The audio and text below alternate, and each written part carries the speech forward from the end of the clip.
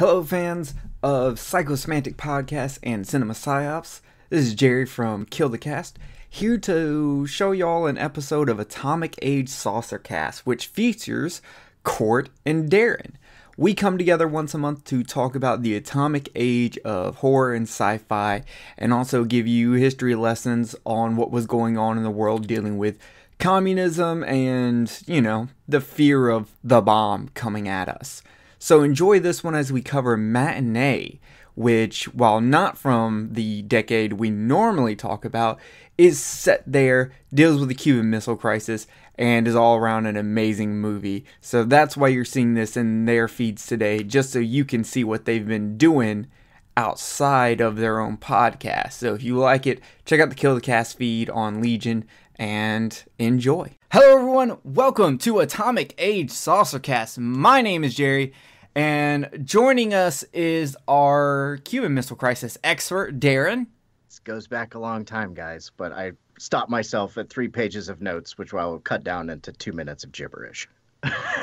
wow, I'm excited to hear it. I almost wish it was all three pages. Uh, and then also joining us, the king of gimmicks, we've got Cort Psyops. Wow, yes, I am very much the king of gimmicks. I've developed a podcasting situation where when you listen to it, it sounds like you are exactly in the same room as Matt and I, and then ghosts come through your wall and drip blood directly on you. and sometimes it's hard to remember you're actually an adult. yes, that too. Wow. Okay. Uh, I've got a complaint. Uh, I've never had uh the blood drip from my walls because of Ghost when listening to Cinema Psyops, but I have felt like I was in the room with you and Matt, which usually is why I turn it off. yeah, we don't wear pants, and that makes people uncomfortable. It's very uncomfortable. Well, and Jer- as Jerry reiterated last week, he's he's more less of a fan of Matt than he is of you, of course. everybody is. We just try to pretend to everybody that that Matt is the one that everybody listens in for, just because it helps Matt, you know, keep going and, and doing it. But really, everybody's there for me. We know that. Well, good thing well, he doesn't listen to this. yeah, Matt doesn't listen to anything he's not on. We've established that. Yeah. Which is why we have the ongoing joke of making fun of Matt, because he'll never know. All as right. long as everybody's cool. no cool one everybody. tell him. Maddie doesn't know. Get your get your heads out of the sand, people, and don't tell Matt. Okay, so today we have a very special episode because while we are leaving the 1950s for when this movie was made, the movie takes place in the 1950s. So we are looking at Matinee from 1993, starring our man John Goodman, directed by Joe Dante.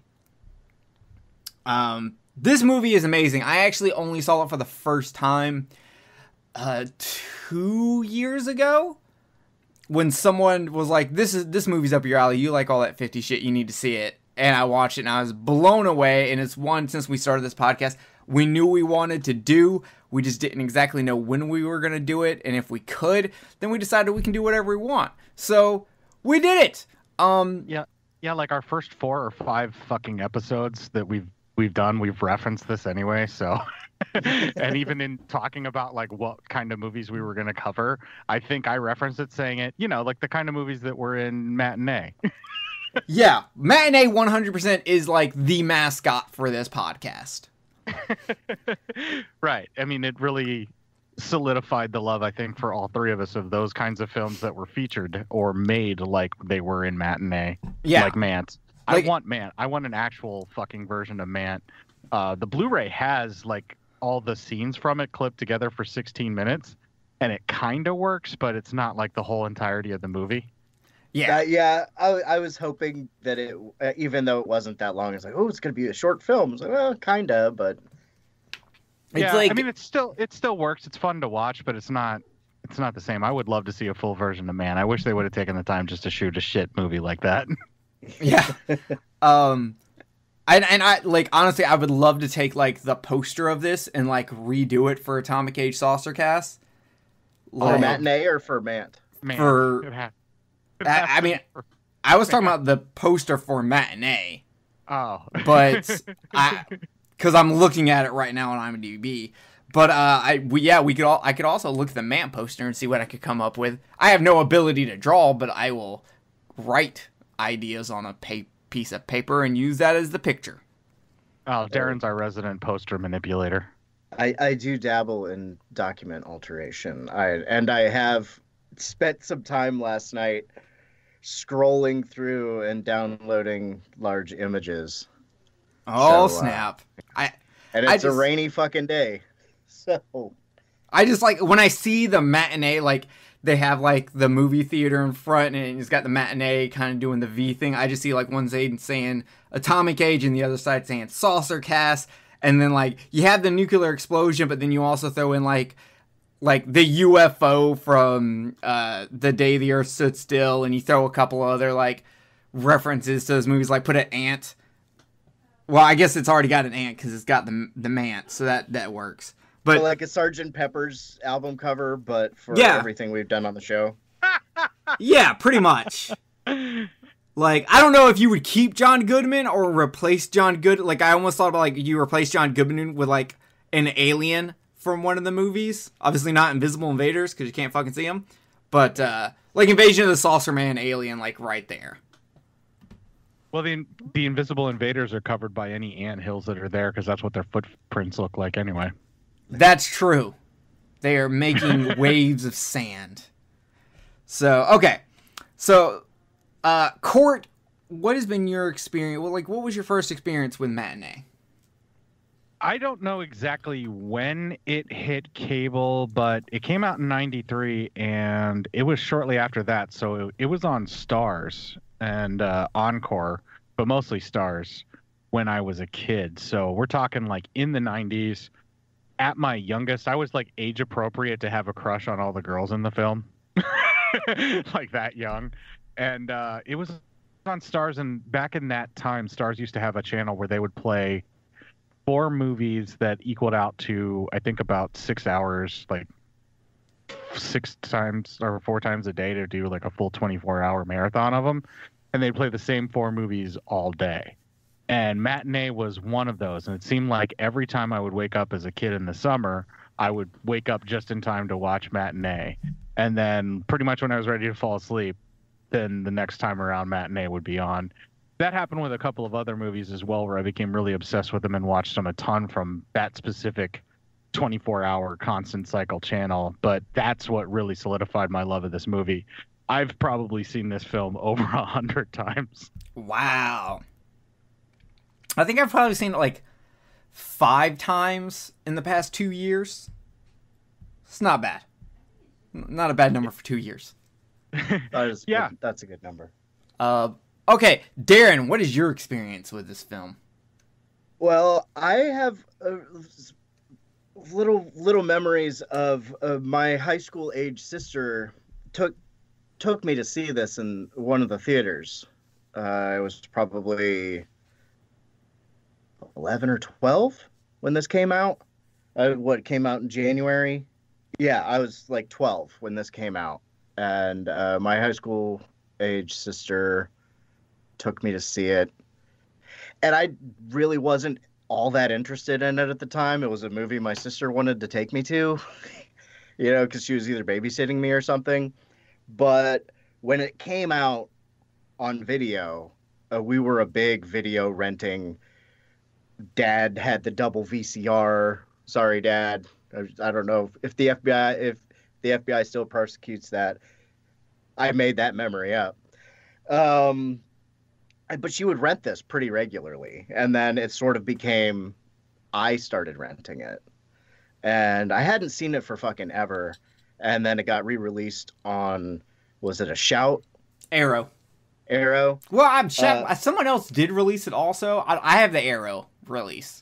there was a no frills blu-ray that somebody did and i think it was the original um, distribute distribution company then arrow video released a deluxe double disc package as the one that i bought and then after that shout factory did it and i've been burned by buying shout factory after having a arrow release Mm. uh, by the burbs particularly so i didn't go for that one and i just stuck with my uh, arrow release for it I'm pretty sure I don't have the Arrow release. I'm pretty sure what I have is the Shout. Yeah. Oh, it's Uh, it's a shout select. Yeah, I- it's got the cover is- crawling out of the cover, and Yeah. I'll I'll take my arrow release. That arrow release looks has a much better cover.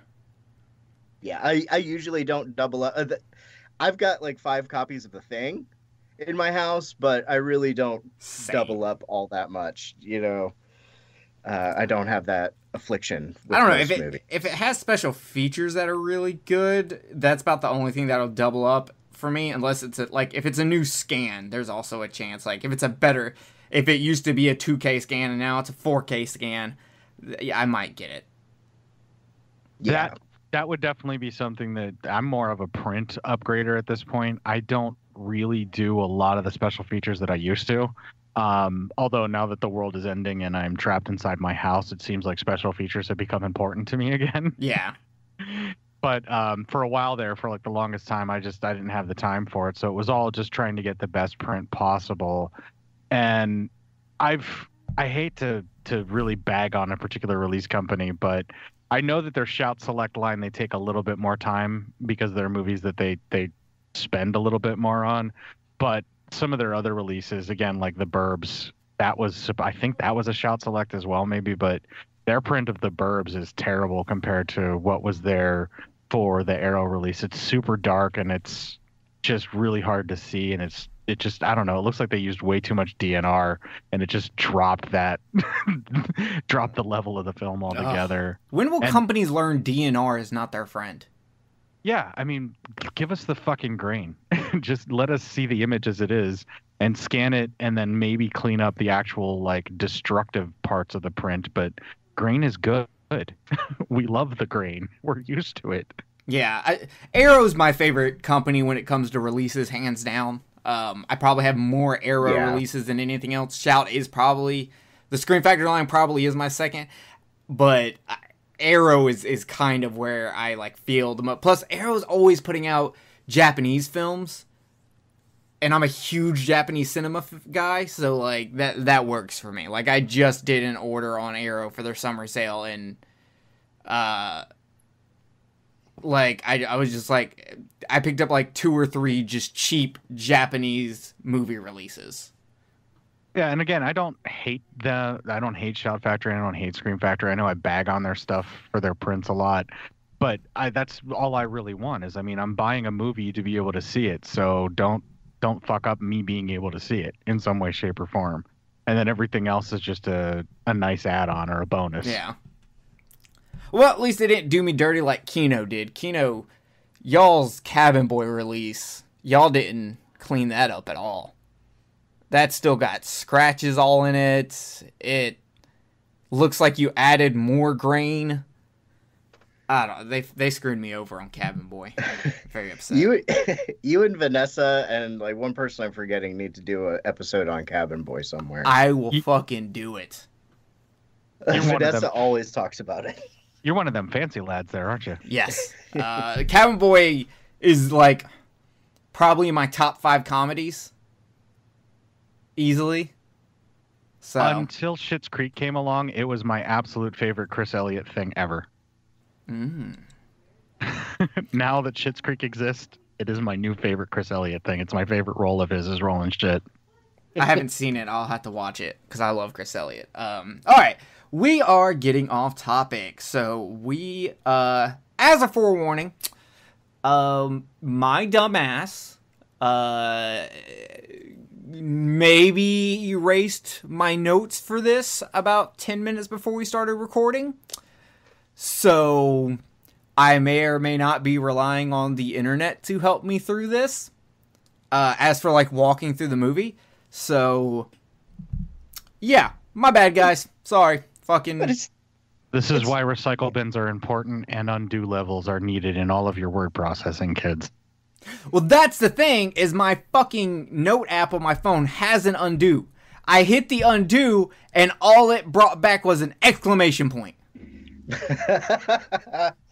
Oh, It's- that Because it's only it's it's only the one level of undo, and you had one exclamation point that you deleted after you deleted everything else by accident. I, probably, I did. It's definitely my fault. My bad. But um, we've got That's a good you memory of the use Google. film. and I'm mostly just using uh, help for the actual walkthrough of the movie. That's why I use Google Docs for my phone if I take notes because it has multiple levels of undo, so I can always fix my fuck ups. God, I know my dad wishes he could undo his fuck ups, but then I wouldn't be here with you guys. Samesies. okay, so in October 1962, teenager Gene Loomis. Loomis, that's a familiar name. That was intentional, I'm sure. though? Oh, That's Joe Dante for you. Yeah. And his younger brother, Dennis, moved to Key West, Florida, where their fathers deployed to work on a submarine just off the naval base. Shortly after their arrival, a televised speech by U.S. President John F. Kennedy announces the threat of an impending nuclear attack from Cuba, and the panic strikes the nation. That's a pretty good setup for what I would call the background of the movie.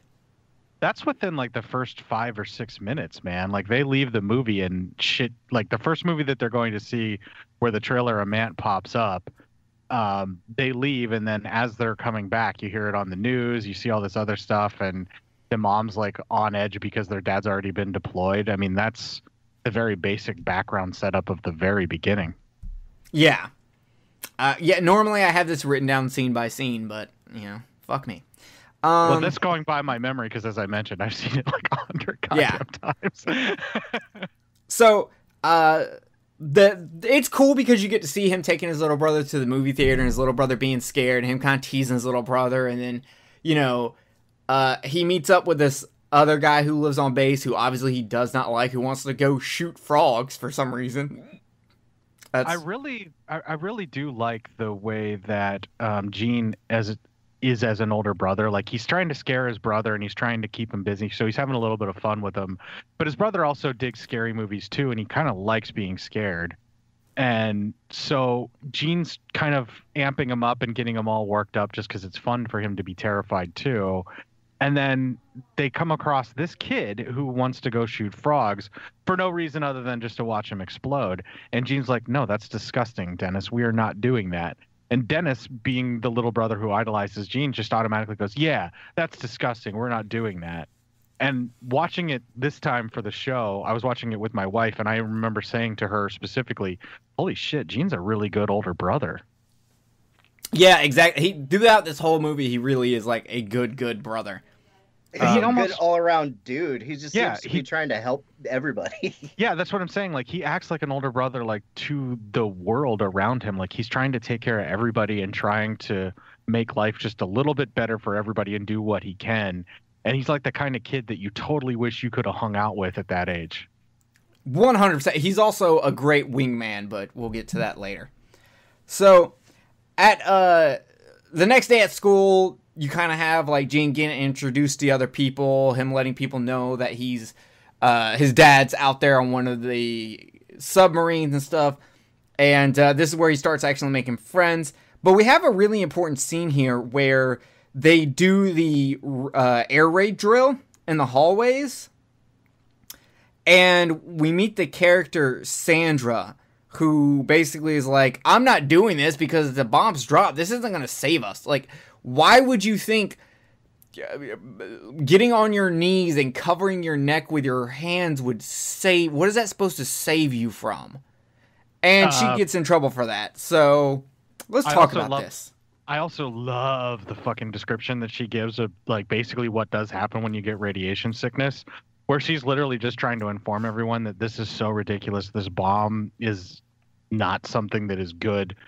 We get this attack that happens. We're not going to be saved by being in the hallway.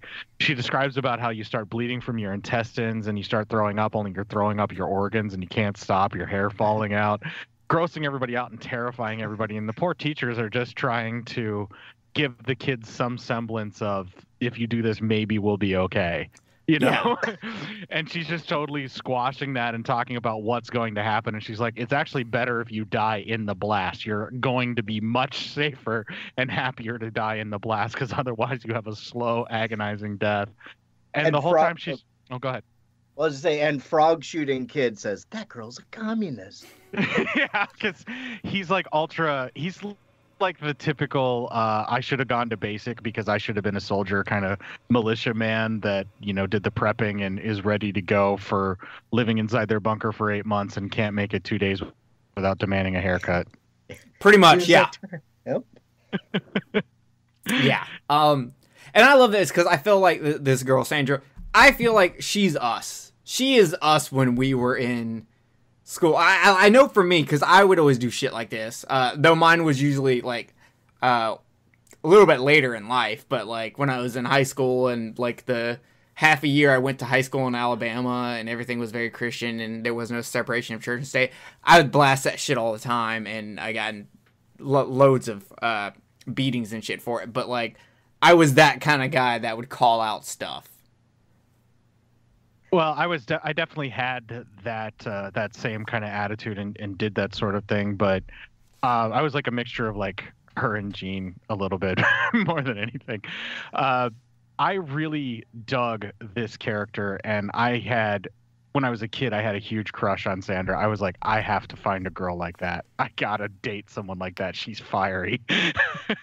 Oh yeah, Yeah, yeah. There was, uh, you know, I I bring this up so often, but you know, my parents used to take me to a lot of protests and stuff when I was a kid, and there was always the odd couple years older political girl that I was like, yes, I love you. um, um, so yeah, when the prepubescent Darren in the theater was like, yes, this girl's fucking awesome. marry me.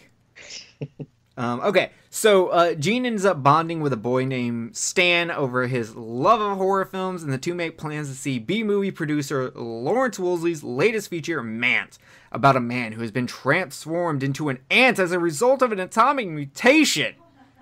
Woo! People should recognize Stan from the TV show Erie, Indiana, which was pretty big right around this time in Saturday morning cartoon land. Also produced and uh, some of the episodes directed by John uh, Joe Dante. I mean, so uh, you know he used a lot of the same people over and over again, which we'll talk about when other characters pop up. But I really love to see the kid from Erie, Indiana, pop up in this. Yeah. Also, isn't he the main boy in Hocus Pocus? I believe Uh, so. yeah. Yes. Yeah, he's I great. was- I, I love was- him. I was thinking so. But he's apparently left left acting and become a hairdresser, according to Joe Dante. Oh, okay. Well, sure. Um, so Stan introduces Gene to his crush, uh, Sherry, and encourages his new friend to invite a girl to the screening. Now, the fun part about this is like Stan is all like, "You just gotta tell a girl what you want. You just gotta mac on her." And then he like, as soon as he talks to Sherry, he's like dumbfounded and stumbling over his words and jaws dropped on the floor. Like he's over here telling uh, Gene that you know this is the make out capital of the world, and I can't do anything but stare with my mouth open like I'm Nancy in Nightmare on Elm Street when I'm around this girl. It's like I- the dog that catches the car. Yeah, Yeah. pretty much. I thought it was pretty funny because I think what Stan is used to is girls trying to play coy and be shy if he's not completely a blowhard and full of shit, which I also believe he is. But the minute he finds a woman, like, and this is usually most of these guys that always think that they're in charge and they're all cool and they know how things work with women. But the minute he finds a woman who is completely in touch with herself and her own desires, he can't fucking handle it and he gets all panicky. And that is hilarious. Yes. So, okay. Uh later, uh Gene and Stan watch as frightened townspeople swarm the grocery store frantically, purchasing food to prepare for the imminent uh COVID-19 I meant nuclear destruction. Uh Oh, yeah, this uh, this panic buying sequence really hit home this time around, man. Really, really hit home. It's the first time I really noticed the woman grabbing all the toilet paper in this scene. the fight over the last box of shredded wheat, surviving apocalypse with the last box of shredded wheat, really rang home with me. I'm like, God damn, this is this is hard to watch. It's really accurate, and people don't fucking change. Yep, Yeah. gotta have my Wheaties. Remember when everybody went out and bought a bunch of gas uh, on 9/11? Yeah, I was one of the people that panic bought gas. I filled up my tank just to make sure because we didn't know what was going to happen. I remember. You should have waited till now, and they'd give you a gas station for Yeah. three dollars. For real. I almost got arrested on 9/11, so that's fun. Um, okay, so Gene's mother suggests he distracts Dennis by taking him to see a light-hearted comedy filmed at the local movie theater. Bored, the boys walk out of the screening and oh, hold up, time out. You can't skip over the movie. So the movie they go see is about a girl's was it her uncle who has been her his soul is now possessing a shopping cart.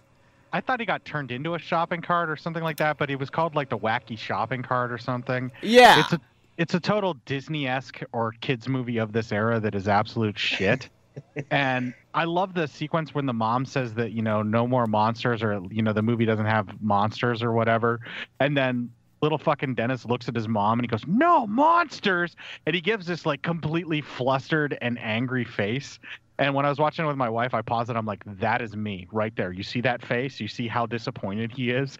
That is me at that age." oh, for sure. I'm with you. I, I grew up a monster boy. That that was my my gig. Creature yeah, features and Godzilla.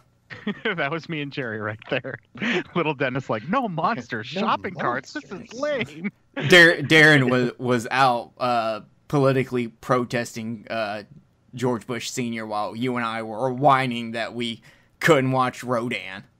right, exactly.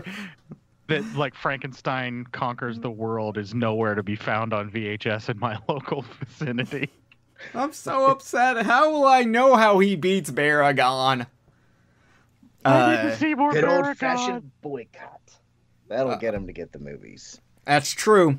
Uh, so yeah, I, I just think that was that's funny. Um, so when they walk out of the screening, they encounter two men named Herb. Uh, you know what, Cort? Go ahead. Tell us about Herb. Oh, are you talking about Dick Miller? I mean, everybody should know Dick Miller, right? yes. the minute he pops up, everybody should know him from being Mr. Futterman, at least if you've seen Gremlins, or maybe the old drunken uncle from Demon Knight. I mean, Dick Miller has been in hundreds and hundreds of fucking movies. Cab uh, Driver yeah. in Inner Space was possibly the first time I also saw, a Joe saw Dante him movie. after Gremlins. Yeah, also, also a Joe Dante movie. There are two actors that Joe Dante loves to put in just about everything he's in when he can. One of them is Dick Miller. The other one will show up shortly whenever we actually get to him, whenever he starts interacting with Lawrence Woolsey. But I mean, how much how much should I really go on about Dick Miller? Everybody should know this guy. Yeah, I'm just upset that like we're talking about Dick Miller and you didn't bring up A Bucket of Blood, his greatest movie ever made. Walter Paisley. That's usually what his name is in just about everything, including Chopping Mall, where he was. yeah. The the janitor named Walter Paisley who had a bucket that mysteriously looked a lot like blood that he was mopping the floor with. I don't know if anybody noticed that, but yeah, I mean, someone Jesus. just watched Joe Bob on Friday night. Yeah, absolutely. And also, uh, well, he was Walter Paisley, I think, in the Terminator when he was the guy that ran the ammo and gun store that the Terminator gets all of his stuff from and then gets killed. Oh, oh yeah. So he's, he's he's played Walter Paisley like a fucking shitload because of because of Bucket of Blood. Yeah, that's true. So joining Herb is Bob, and they are protesting Mant's tactless subject matter. They are saying this movie uh, should not be talking about this when we are in a nuclear crisis that is waiting to happen. And how dare they try to show this trash to our children? Think of the children and how they will be affected by watching a 1950s sci fi movie, which are some of the most American and patriotic movies you will ever watch. Uh, I also want to point out that they were upset that it teaches kids that it's okay for mutations to rip the clothes off of young women. That's mm. one of the lines that stuck with me that uh, Bob says. Okay, maybe they have a little bit of a point. Um, Well, I, what they're clearly doing here is a good old fashioned ballyhoo. Um, whenever you're watching it, you know what's going on, where they're trying to make people think that they're going to see something much more shocking and upsetting than what they actually are.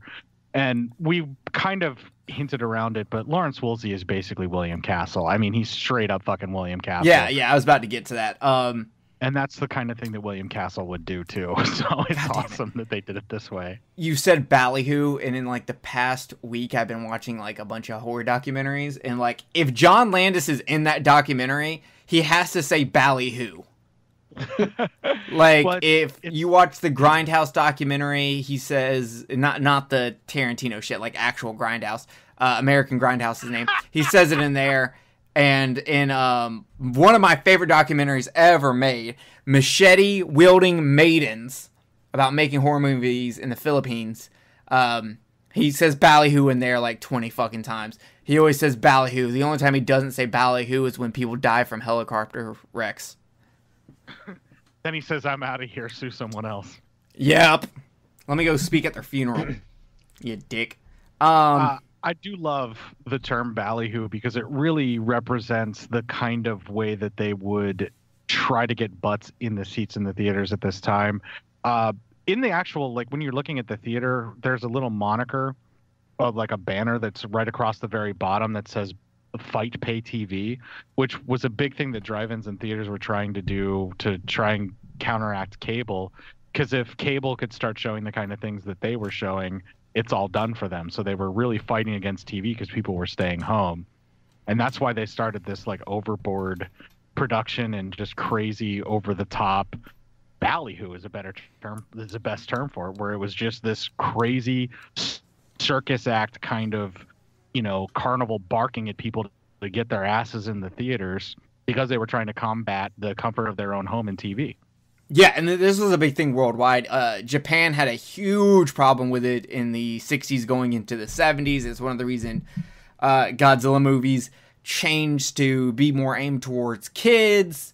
Uh, it, it was a pretty big issue. It's the reason Godzilla movies dropped in budget, and we got Godzilla versus Megalon, which I love for the record. Yeah, I mean, right. But also, didn't they in Japan? Didn't they also start making movies that were more adult oriented on stuff that couldn't be shown on TV? And that's where the Pinku Eiga stuff came from. And Yes, The in the Roman s- in the seventies, you got the Roman porno and the pinky violent stuff uh, that that became really popular and started bringing in the money uh, because like those movies, you would have like great sets and costuming, but it was all about a woman naked, tied upside down, and having her stomach inflated.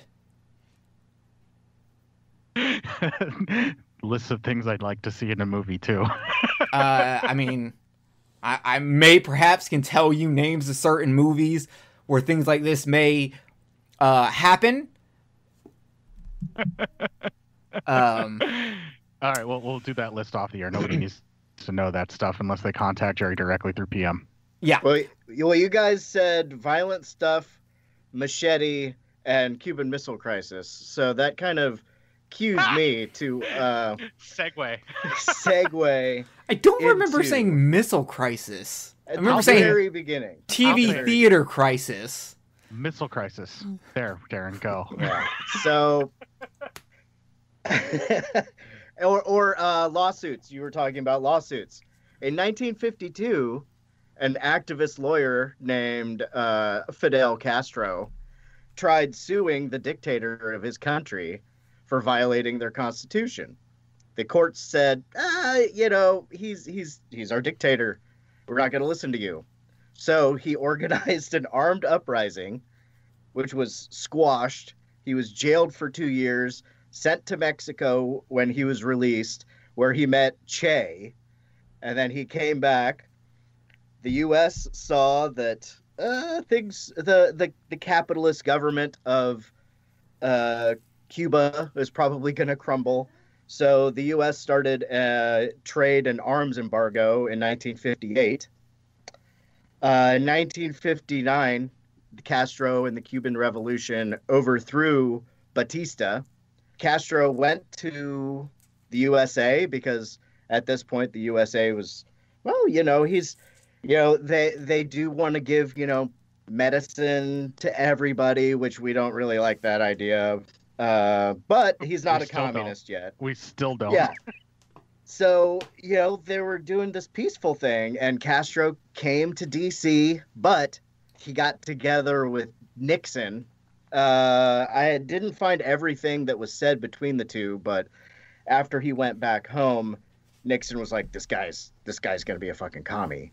We need to do some we need to do some shit." So um, in 1959, John Dulles uh, was the Secretary of State for Eisenhower. I don't you might recognize the name. He is brother of Allen Dulles, head, the longest running head of the CIA. Who you might know from such coups as the Iran coup of 1953, the coup in Guatemala in 54, uh, but they they all got together and you know they started uh, what Operation Mongoose, which you will know from the movie JFK, which was uh, we want to overthrow the Cuban government, but we want to encourage the Cuban people to do it so we don't get in trouble. Because typical CIA CIA playbook anyway for doing that kind of thing, where they fund the rebellions and pretend like they had nothing to do with it. Yeah, we, we will help you overthrow this guy who overthrew the guy who we helped overthrow the other guy. Because if we uh, keep your country destabilized, we can continue to get goods from you at very cheap prices. Yeah. So there uh there everything was going great for America.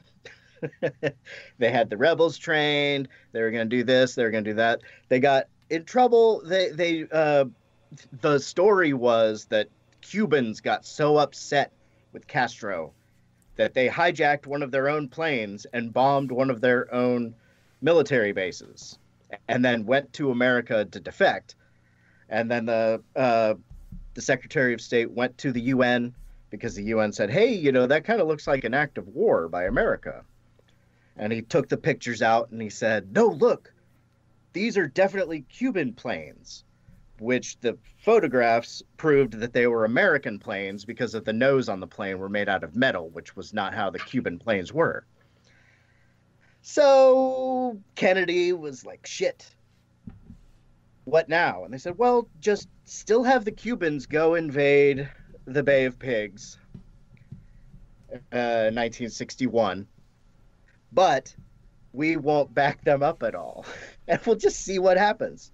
Well, you know, uh, aside from people in Castro's army being among the people trained to invade the Bay of Pigs, so they had the army just waiting there. The tide was working against the attack boats, so it took them like twice as long to get to shore, where they just all got captured and killed. Um, so, and then America put a bunch of nuclear weapons in Turkey, which uh, can reach Russia about the same length of time that a nuclear missile would take to get from Cuba to Florida. So Brezhnev said, Well, hey, Cuba, we're going to give you some nuclear weapons.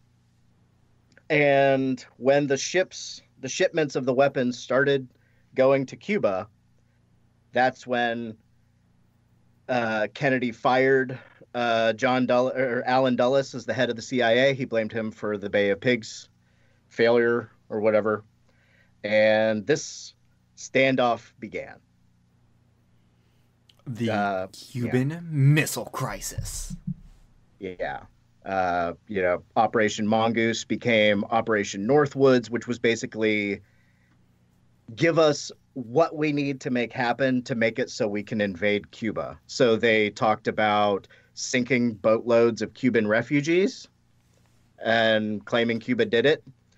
They talked about shooting down aircraft and saying Cuba did it. Uh, but then in April, that's when uh, the missiles, the you, you might hear them talked about as the Jupiter missiles, were stationed in Turkey, and then Khrushchev offered Cuba nukes to sort of say fuck you and to also help them negotiate their way out of the embargo that had been on them for three or four years. And that's where we are now in the film. Yeah. yeah. If you want to, if you want to timestamp that and have everybody skip it, I no. that was not that long of an explanation, and it they... really gives a good background. I I think it's fine. Okay. No, fuck that. They come here to learn. Okay, we are edutainment. Minus the tainment. I don't believe in time stamping. You listen or you don't. Be a man. or a woman. We we want women too. Be a person or or pets. Pets can listen. Pets can learn. we'll Yeah. take dormice. We'll take any ears we can get our hands on. Do you know cats watch more? Or, I can't remember how much that guy. You know, you, you watch Scrooged all the time. How many I- I- hours a day of TV do cats watch? Yeah, I can't remember exactly what it is, but that's why we need dormice around because the cats are going to want to listen to them. Uh, my cats just sleep a lot. I don't know if they watch any TV. Um, okay, so uh, we've got to talk about William Castle because that is who Woolsey is based off of. And William Castle got famous for doing a lot of gimmicks. Um, one of the first things he did was a movie called Macabre, where he would bring hearses and uh, have station nurses at the film, and he would have a one thousand dollar life insurance policy uh, for you if you bought a ticket in case you died of fright.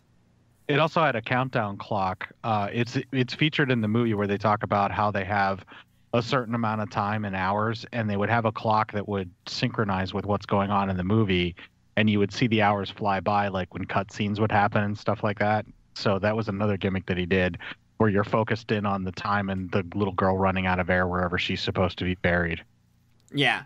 Uh, we've also got uh, House on Haunted Hill that used a Emergo, which was basically just a, a skeleton rigged up to fly across the audience. Yeah, it never dripped blood on the audience like they said with the ghosts, but Emergo actually worked pretty good. It, it freaked kids out everywhere. Yeah. But next, we would get Percepto with the Tingler, where he would put, uh, like, basically buzzers on, on the seats that would shake the seats and kind of freak everyone out. They were industrial vibrators that were used to like um like almost like a paint shaker kind of thing. Like it would be the motor that would do like a paint shaker or um that you would use to like settle sand or something like that, like where you would actually need to vibrate a solid block or something like that. And when they put that near your bum in the seat, it really, really was uncomfortable.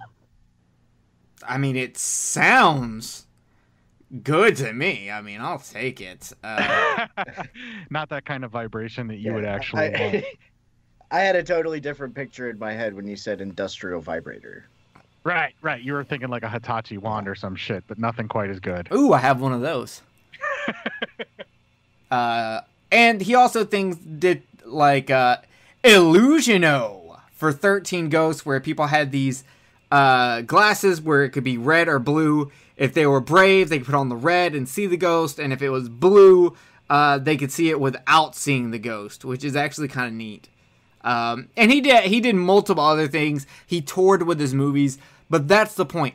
He was bringing showmanship and gimmicks, and that is what Woolsey is in this movie. And so I just wanted to give like a quick breakdown of, of William Castle and the gimmicks he would do.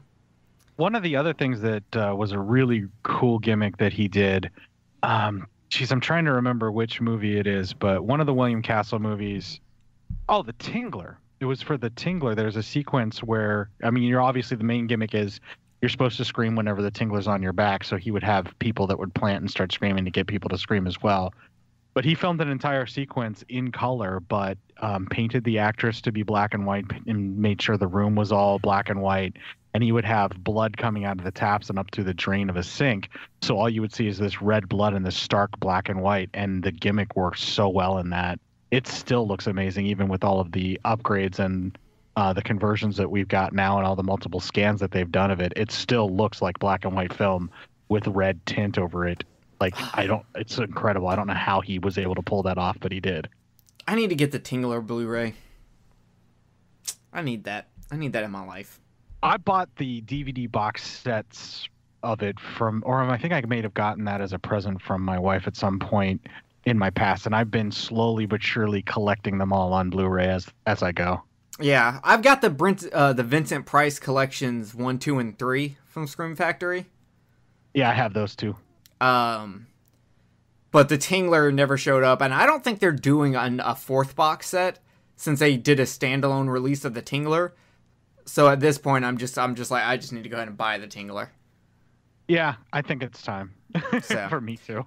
Um, so while they are preaching to the crowd about uh, how bad this movie is, you do have a set of adults, some parents that may be important later, uh, talking about how people should make decisions on their own, uh, which is a good time for Lawrence Woolsey to appear and uh, start t- telling people that, hey, you know, I don't have a speech prepared, but here's this speech, which was really funny and he hands out uh, free passes to everyone and tells them, you know what, come see the film for yourself, which is pretty dope. There's something that he and his specific, uh, the actress who seems to be like in a relationship with him, but very flustered with how he treats her and is always constantly milking her for money instead of paying for things himself. Uh, played Yeah. by the very lovely Cathy Moriarty, who has never looked better than she does in this film, as far as I'm concerned. Uh, but there's like a little sequence where they have a discussion where this particular screening that they're doing is like a sneak preview that he is using to sell to a theater chain his processes and some of the things that he's come up with because this is like a mega gimmick serious thing that he's created and he wants to see how it plays with an audience and so does this particular gentleman that is going to be putting them in the theaters. So him handing out free passes it isn't about it's more or less just getting butts in the theaters so that this guy can see how it plays with an audience that's the whole plan you know like how this shit is actually going to work Yeah, uh, and it's it's really good. So at home, Gene looks through horror movie magazines and recognizes one of the protesters as Herb Denning, a minor player in Woolsey Pictures. I almost want to believe that that's an actual movie that Dick Miller was in that they took a still from, but I can't place it. So, or maybe it's a Twilight Zone episode or something. I don't, I don't fucking know. But it feels like it's an actual still from a real movie that they reused because that's the sort of thing Dante would do. Yeah, for sure, I agree. Uh, But I'm not sure where it's from, if it's from something. Um, so the next morning, the seemingly wholesome Sherry tells Stan about her former relationship with an older guy, a juvenile delinquent named Harvey Starkweather. Not a Charles Starkweather alle- allegory at all. No, not at Nope, all. nope, nope. Not a bit. Uh, seeing Sherry with Stan, the angry and jealous Harvey corners the boy and threatens him if he pursues the relationship. Basically, Sherry's like, "Let's go look at Coral," and uh, Stan's like, "Anything for you." And then Harvey's like, "If you go near her, I will read you more poetry." Which is a much more destroying threat than the actual physical violence. Because Demoral is a knife, Jerry. Demoral is a knife, and it's a big knife. Big nut. Uh, yeah, life is like a river where you see people floating down it on different boats that people have. The boats. uh, yeah, it's it's pretty I bad. wrote better poetry than he did in in high school. yeah, I write better poetry now than he did in the fifties. Can you imagine being the person who was tasked to try and write the bad poetry and trying to force the worst poetry you can think of? Like this is probably Claudia Millstone Jennings' poetry. It was it was just Do- Joe. Dante getting like really high and reading like teen teen romance novels. it's like Stephenie Meyer wrote their fucking their poetry for God them. damn. Um all right, uh back at the school, we see Gene strike up a conversation with Sandra, um, who has received a week of detention for acting out during the air raid drill. Kind of harsh. Uh, but whatever. They put Gandhi away for a year. I don't That's know that true. many people yet. that would crack me up this time around. Yeah, that that's that's a really fly under the radar joke. Um, so Gene and Sandra kind of get to know each other, uh, which is good. It's cute. Uh, after school, Gene goes and talks to Woos- uh, Woosley to ask him about Herb Herb Denning, and the filmmaker explains he you know he was trying to stir up interest in the movie. Uh, he didn't think anyone would actually recognize the guy. I love when he actually says Herb Denning and then John Goodman as Woolsey does a thing where I think he he spikes his finger with the wire he's trying to use to tie down the tarp. And he's like, "Oh, I didn't think anybody would recognize Herb." And then he pays off the the exterminator. We we also need to talk about that. He hires an exterminator to drive his van around with the with an ant on top of the van, and then it has like the the stuff about Mant on a just like a tarp that's tied down across the van, and he's like cruising around the base and uh, various uh, what was it like arcades or something like that to try and get kids' attention. I can't remember what he says specifically, but he knows his audience, so he's like, yeah, there's got to be people bored in these places, and he gives the guy a buck, which in the 1960s was probably a lot of money, but it's just funny he gives him one buck, and this guy's gonna do this for the whole day. Pretty much, uh, and so uh, Woolsey basically says, "Well, kid, what do you want?" And, and Gene's just like, "Dude, I just want to help you." So Woolsey starts like telling him how things are going, how he's outfitted the theater with electric buzzers, smoke machines, earthquake simulators, hoping his Atomo-Vision and Rumble Rama experience will exploit the heightened senses of fear gripping the audience. Yeah, he invented 4D theaters. That's basically what they're saying is that Woolsey is the inventor of 4D theaters and surround sound, right? Yeah, hang out in a D box. Think of Woolsey. uh, and it's pretty cool. So, meanwhile, we see Harvey, who has a run in with Herb and Bob, and he attempts to steal their wallet, only for the two men to catch him, rough him up uh, to get their money back. But instead of roughing him up, they act like they're going to hit him, but they just kind of tap him on the face. It was cute. Oh, and also as he's describing her Herb and Bob to the kid while they're kind of hanging out.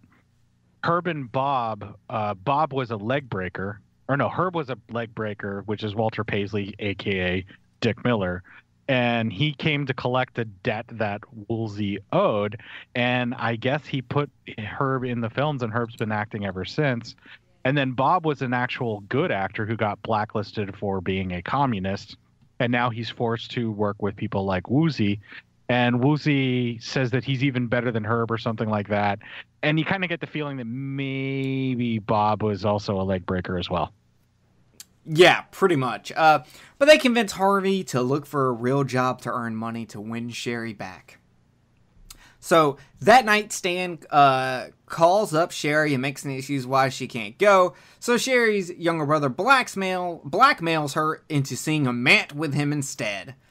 That little so, brother is a piece of shit. He is the worst little brother I've ever seen in a movie. He's such an oh, yeah. asshole. What a dick. Um, what a what a dick Miller. no, no, Dick Miller, good. Little brother for Sherry, bad. You just said that like it was fucking you were Frankenstein's monster. Yeah, I did that on purpose. I totally meant to do that. I think the little brother in Teen Witch is a little worse. Okay. I've never seen Teen Witch because I'm I've never been a Teen Witch, but oh, I feel you. Darren got cut off, so I didn't hear that. Yeah, the little brother in Teen Witch is pretty goddamn annoying as well, Darren. He's he might beat this one out, but they could they would probably hang out and talk about how to blackmail each other's older sister. Yeah, yeah, they they met at the convention. Yeah. So Stan's excuse is that he's putting like uh, sandbags somewhere at the school for the, the gym purpose room because it faces yeah. south. Yeah, the all-purpose room because it faces south. Okay, buddy. Uh, so we go to the we go to the main day. We, we are at the day. It is Saturday. Everyone is at that movie theater. And Sherry arrives with her little brother to see Stan and his friends. So she gives him shit for lying to her. And uh, inside, we see Ruth Corday, uh, Woolsey's girlfriend or chick, I don't know what she's supposed to be, poses as a nurse, nurse and forces attendees to sign liability agreements warning that the film may scare them to death. But don't worry, Gene says, We ain't afraid, little brother, are we? So it's cute. A lot of cuteness to this movie. I'll, I gotta say that. It's like just a lot of heartwarming things one of my favorite bits that they do that really makes me laugh is where she's dressed as a nurse and she's so over all of this gimmicky shit. She's just doing it because she's in love with Woolsey. And one of the kids comes up and goes, Nurse, I cut myself. And she's like, That looks nasty. And then they just cut away. They don't even deal with it. Yeah. where she's just like, I'm not fucking touching that. Yeah. And she does a, she does a similar joke later on that's really good. Yeah, I love that they went the extra mile to have someone actually believe enough that she was a nurse for help and she's like not gonna help them. It's so funny to me. So, uh, Gene sees Sandra across the lobby and offers to sit with her, and they kind of talk. Uh, and you know, they look at this this display that's up with an arm coming out of an ant hole covered in ants. And we also meet Sandra's parents, who are very who are the liberal parents we saw earlier uh, when Woolsey gave his speech to the protesters. I love how the dad does an oversized speech too, where they're like, "Oh, that's really gruesome about the arm sticking out of the ant hill," and he goes, "Well, the point isn't whether or not we like it. The point is whether or not we allow them to tell us that we can watch it." And he's going through all this speech, and then she's like, basically silences him, like, "Dad, you're embarrassing me," but like, you know, she uses their names. She doesn't actually say mom and dad. Yeah. I can't remember what the dad's name is, but she like says it like in such a way where it's like, "Dad, you're embarrassing me," and then she looks at the boy, and then the parents, being the cool liberal parents that they are, they're like, "Yeah, you go get pregnant now. Go ahead." Pretty much. Um. So uh, then we see uh, Harvey, who is being recruited to work the special effects during the screening. And uh, I would not be able to keep up with everything said on how to work that damn thing, but uh, good for them for thinking Harvey could. Oh, it's real simple. You see, whenever he says this, you just bip, bip, bip, bip, bip. This goes to six. That goes to two. It's not that hard. But never take this one to nine. Yeah, this one never goes above nine ever. Chekhov's Uh, switch has been brought into play. Yeah. So once the film starts, uh, theater chain owner Mr. Spector watches in delight as the gimmicky effects cause an audience to scream. Uh, so you see what he's brought back to this in my mind is the showmanship. yeah. Uh, and it's great. I, I love Mr. Spector. That I thought that was pretty fun. He actually represents a real life person too. I, I can't remember who it was now off the top of my head because my notes aren't here. He Um, reminds me of David F. Friedman. the way that he acts on the giant cigar and all that. He just reminds me of the sexploitation auteur David Friedman. Yeah, but he looks like a 1950s Lloyd Kaufman. Yeah, yeah, you, you could see that too. But it's just basically like the movie guy that just is really all about how to get butts into the seats, keep the butts in the seats, and then make those butts and seats also pay for concessions. Yeah. Uh, so during a particular scary scene, Harvey sneaks into the theater wearing a mant suit uh, and terrorizes the audience, but gets super pissed off when he sees Stan and Sherry kissing. But hold, hold, hold up, you skipped my favorite fucking scene. Uh, our boy Gene is the best dude. He finds Sherry and talks to her and gives her a lie saying, "Oh, well, you see, Stan agreed to come with us, and you know, with my father being out those boats, eh, eh, you know, my little brother Dennis was so worried about it, and you know, he's like a, another brother to my brother." And he forgot that he already agreed to go with us, and so See, that's why he had to Stan's be here. the only one that can calm Dennis down whenever he gets scared. But Dennis loves these kind of movies, so he needs Stan. Otherwise, it won't work. Please believe me, Sherry, so that you can be victimized by my asshole friend, please. Whoa, whoa, whoa! Time out. You think Stan's an asshole? okay. I don't think Stan's necessarily an asshole, but the way that Gene is going about lying and manipulating to her, that's kind of wrong. Okay, fair, fair. Um, And by kind of, I mean very. But I mean, Uh, I would be lying if I said that I haven't lied to a woman. So, you know, there's that. Yeah, so uh Sherry uh immediately goes and starts making out with him. She is all about it. I I I'm not saying she's not a virgin, but uh she got some experience. It's heavily implied that since she says that Harvey taught her a lot about her body and her desires, I'm thinking that her and Harvey hooked up. She decided she really, really likes sex. And since Harvey's been gone, she hasn't found someone that will fill that void, if you will. yeah. So uh Harvey freaks out and starts attacking Stan and then flees.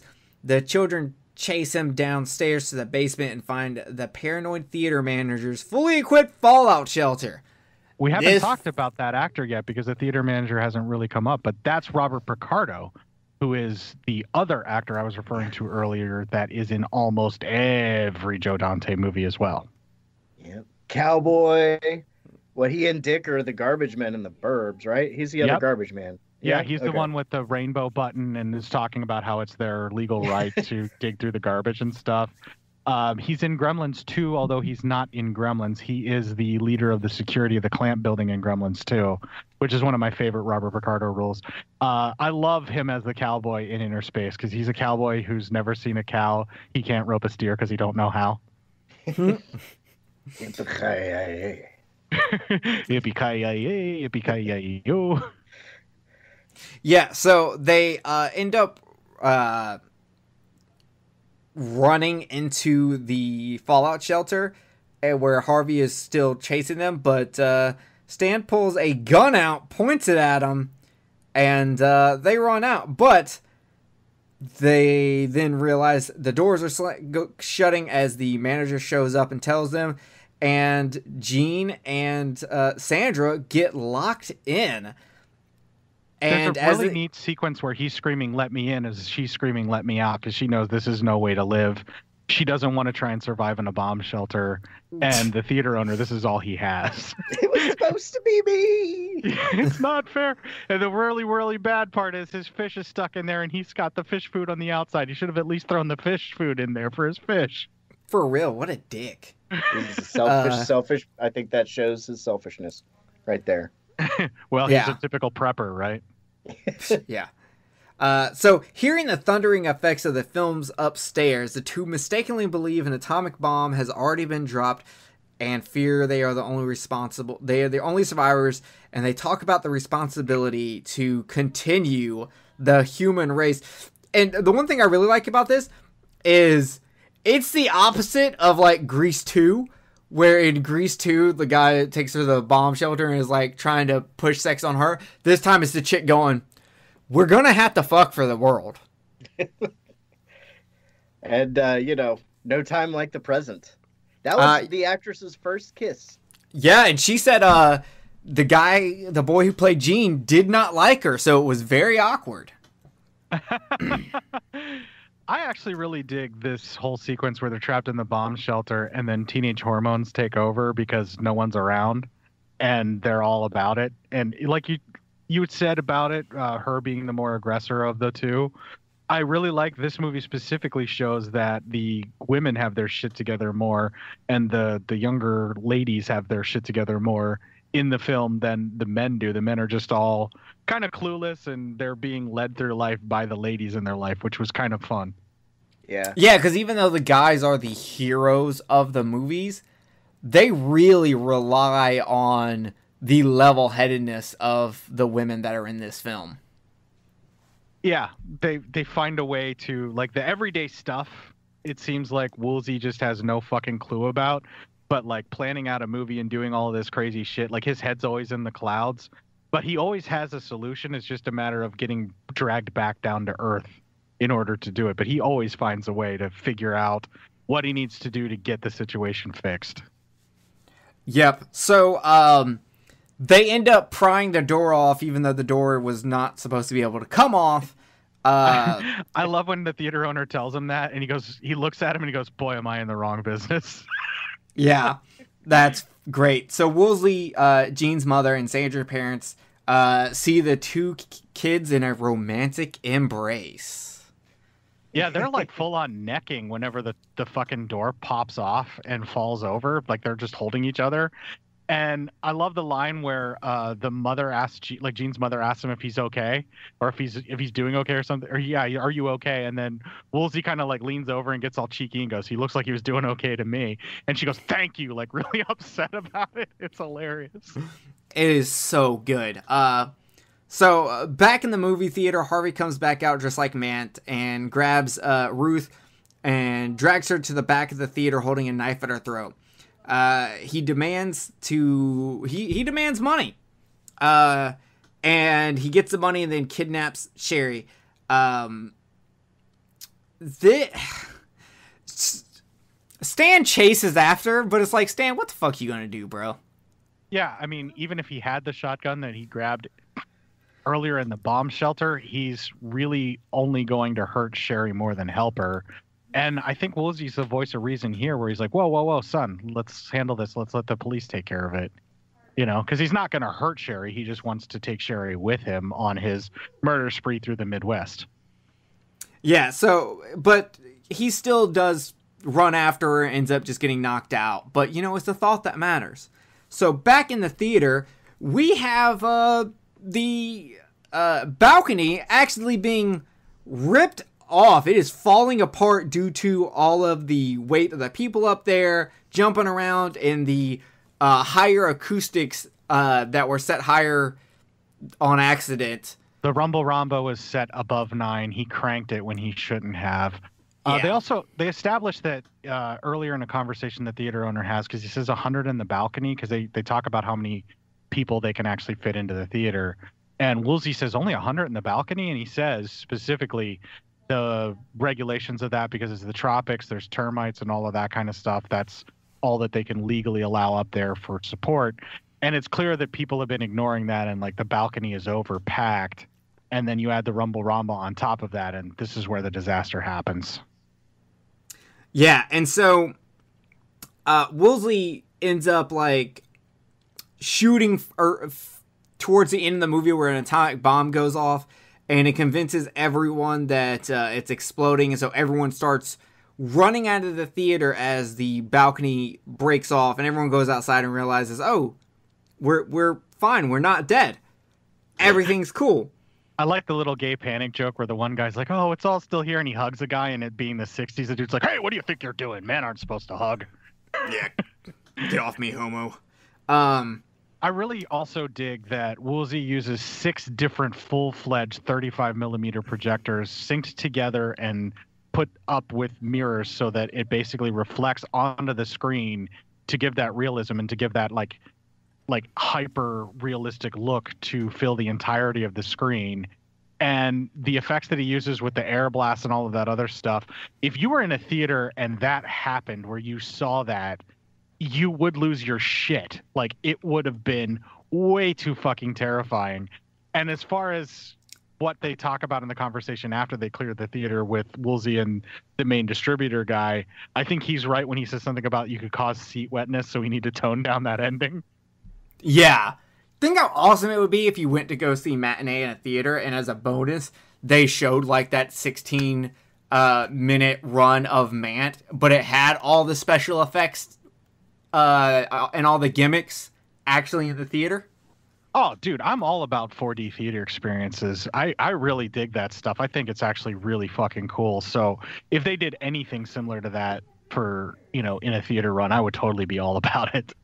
Yeah. E- even the nuclear blast, as long as I knew it was coming, I think I'd be okay. for real. Um, so uh, Dennis, uh, Gene's younger brother, is trapped upstairs on the balcony, uh, and Gene runs up there to get him, and it takes him a little bit, but he finally gets his brother to grab his hand, and he pulls him up, and uh, they run outside. Harvey gets arrested. Sherry kisses Stan again. Uh, you know, the audience is all happy because they're not dead. Uh, the venue has been just fucked up. That that's going under repairs, and it actually upsets a bunch of people because they're like, "Yeah, the theater's closed for the day, no more screenings," and everyone was like, "What? Come on!" I love that lady that holds up her kid and he says, He's been waiting for this all week. You tell him he can't go to this. And the kid starts bashing on Robert Picardo's theater owner over and over again. And he's like, I'm sorry, ma'am. The theater's been destroyed. There's nothing I can do. Uh, yeah. So, uh, Mr. Spector congratulates Wooly on his success, and uh, they start talking about ideas for uh, what they're next going to do. And obviously, we have the seat wedding thing that's really fun. Also, uh, I mentioned this earlier when uh, the kids are running out, there's these two kids that are dragging uh, the kid that we don't like, and they see her as the nurse, and they're like, he's fainted. And she's like, so? Yeah, she's like, Whatever. Yes, he absolutely has. Get him out of here. Yeah. Um so uh then we we find out uh that the Cuban Missile Crisis has ended and their father will soon return. And we then see Gene and Sandra saying goodbye to Woosley and Ruth, who are driving to their uh, next opening. And uh, we see the blossoming relationship between Gene and Sandra uh, as we end the movie.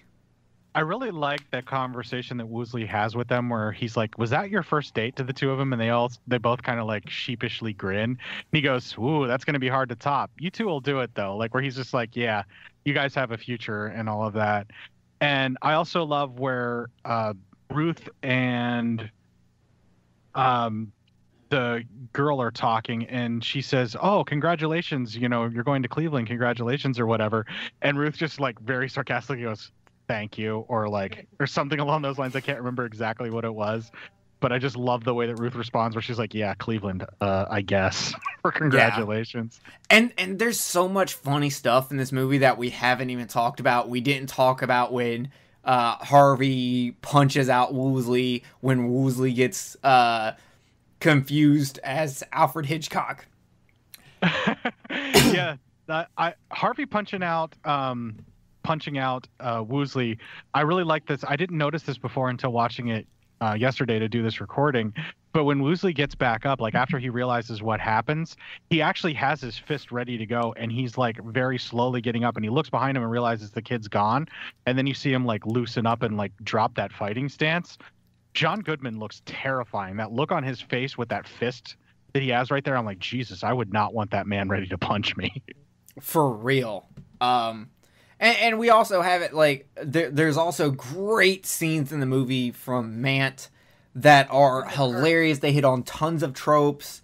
Uh, the guy from the thing that we mentioned when we covered the original The Thing is the doctor who tells us how radiation is measured in Roentgens and uh, gives us definitions of words that people may not understand because it's you know geared towards kids or whatever. He's in. Oh that my as god, the doctor. that's so funny. Um, the dentist is actually another Joe Dante staple who shows up in a lot. I think he was Martin Short's psychiatrist in uh, Innerspace that we keep bringing up as well. Yeah, he was either a psychiatrist. Yeah, I was gonna say, or his boss at the grocery, but that's the other guy that's in a bunch of Joe Dante movies. Right, right, yeah. Yeah. Uh, so there, there's just so much. We would probably, uh, it would probably take us three hours at minimum to cover everything in this movie. Uh, in fact, probably, if I, we could probably do two more shows on this movie and find different stuff to talk about. Really, yeah, we really could. Um, but with that, that is the movie. You, everyone needs to see it. We're kind of uh, gonna go ahead and move on to final thoughts. As for me, I love this movie. It's such a good time. I love any movie that kind of pays homage to old monster movies and stuff like that. I just think those movies are really fun, and it always makes me go. I kind of wish I'd grown up in like the 50s as a kid to be able to like watch all of these type of movies at drive-ins and stuff like that. Like then I remember everything else that happens in the world and I decide against it. But for a glimmering moment, movies like this make me go, God, I wish I was a kid growing up in the 1950s. How cool would that have been? Um, I highly recommend this movie. It is so good. It is such a light-hearted, fun movie, even though it does have some heavy topics. It it's so adorable, and it's just every time I watch it, I just feel really good about life. So, uh, Darren, what did you? What about you? Oh yeah, I I still fucking love this movie. Uh, easily recommended to a lot of different types of movie fan. Uh, although Gene and Dennis's dad won't be coming home so soon Uh oh. because uh, so the way the Cuban Missile Crisis sort of ended was uh, Kennedy sent Robert Kennedy to have meetings with uh, uh, Khrushchev, and to, they sort of tried the. They didn't really Kennedy being Kennedy. Um, he didn't want to look weak, but he didn't want to. He he didn't want to start a war, so that was cool. But uh, all the shit about Operation uh, Northwoods and all the stuff they had done, and stuff about Robert Kennedy going and having negotiations was classified for about 35 years. Um, the official story was Kennedy stood him down and he blinked.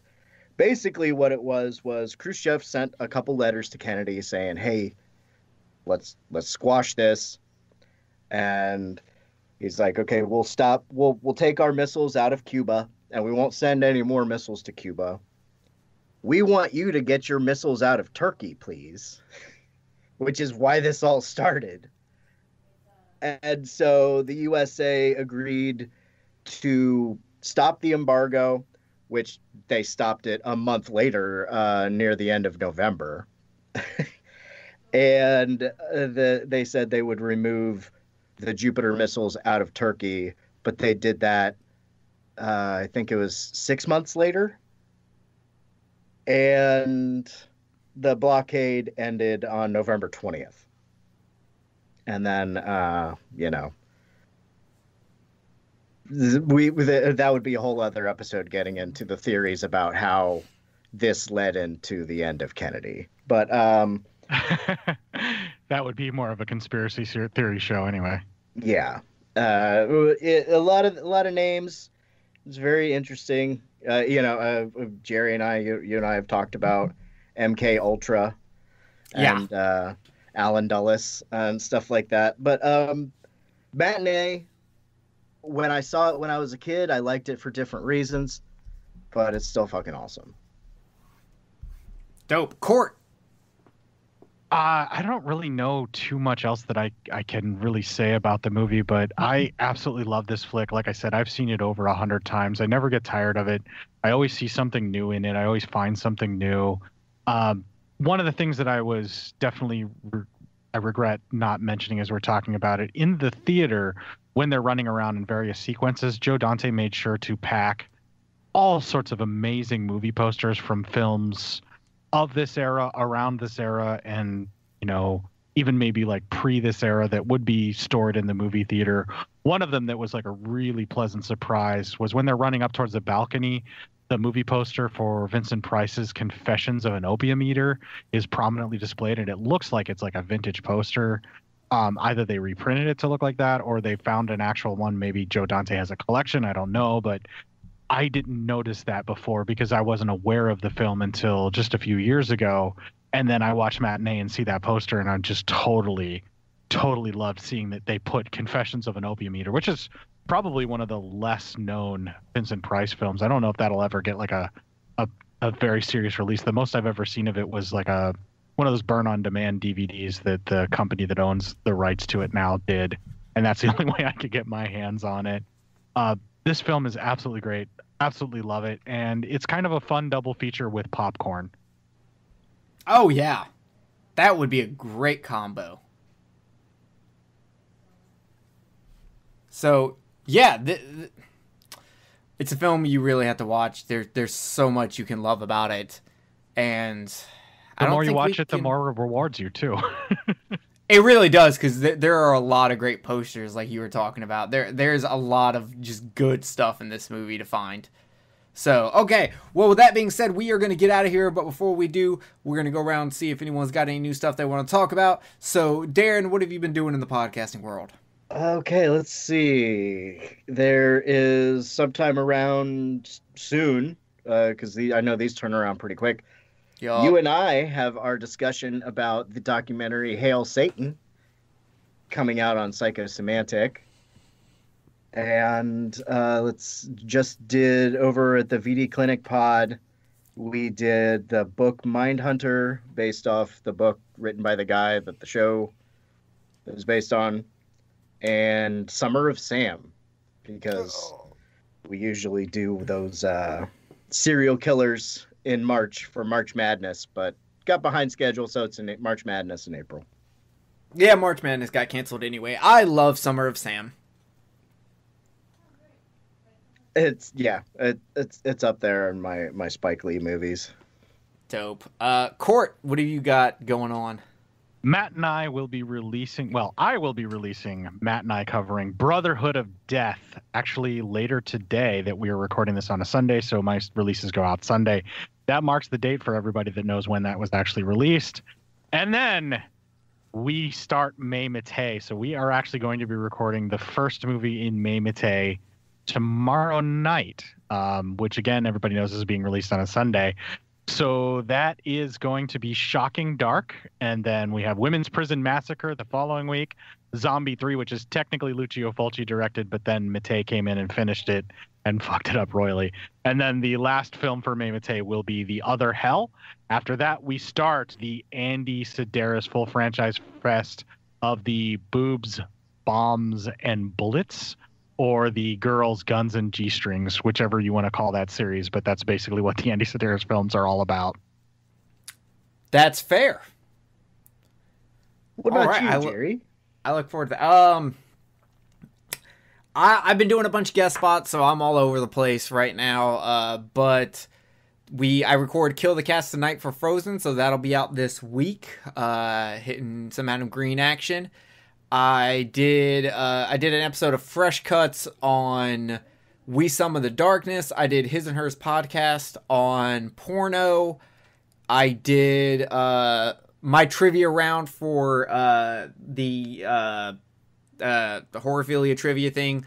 Uh, that came out, and uh, I that's about it. Kill the Cast is coming with. Oh, and I we did Godzilla versus Hedorah on Underwater Kaiju, and our next episode will be Pulgasari, and we'll get into uh, what happens when North Korea kidnaps a director. and lies to Toho Studios about where things are being filmed. So those will be tons of fun. Um, so get ready. We've got tons of stuff coming out. It's it's good fun. Uh, we also picked the what if we officially locked down what the next episode of Cult Unknown is. So that will that's probably like still two weeks away because we're just now starting research, and those episodes take a lot longer to research. Um, but yeah, that's it. That, that's it for us. Thanks everyone for joining us. Go watch Matinee. Go love some Atomic Age uh, sci fi. And we will see you next time. And I think we'll have to go back to uh, some overgrown, mutated uh, wildlife. I think, was it Black Scorpion time? I mean, we could always do Black Scorpion. Sure. It's either that or the giant claw. Which I would prefer Black Scorpion over Giant Claw. Not that I don't like Giant Claw, but I think it's a better film. Uh, Black Scorpion is. That's true. So we will see you next time, guys. Thank you very much for listening. And uh, remember, keep watching the skies.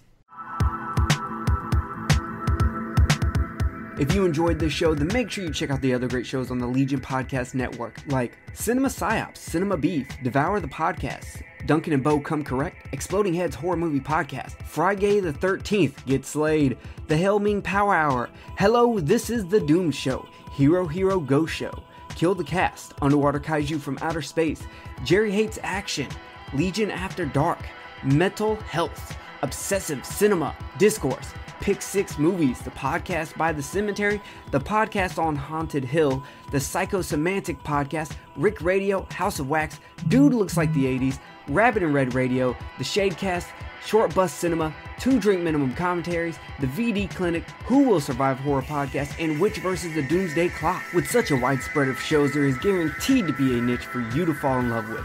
Horror, politics, movies, books, sex, music, commentaries, health, video games, kaiju, action, news, comedy, and opinions that would most likely get you killed in some parts of the world. We are proud to bring you some of the best podcasting in the world. Check us out at www.legionpodcast.com, iTunes, Spotify, Stitcher, YouTube, and any other dark corner of the internet where podcasts can be found.